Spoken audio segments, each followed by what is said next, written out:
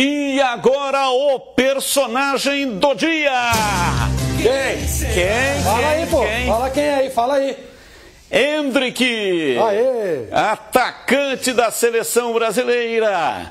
Marcou o gol da vitória contra a Bolívia. Torneio pré-olímpico começa bem a caminhar do time brasileiro. Resultado, né, Batista? Resultado, o importante é resultado. Futebol Eu paupérrimo. não vi o jogo. Paupérrimo. Tem que melhorar.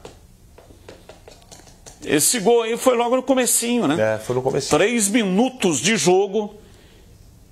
O Hendrick é muito bom, hein, rapaz? Olha, O goleirão quando ele ele um joga tapa, no né? peito, E a velocidade, Batista? Saiu atrás, o zagueirão chegou ele tem uma explosão.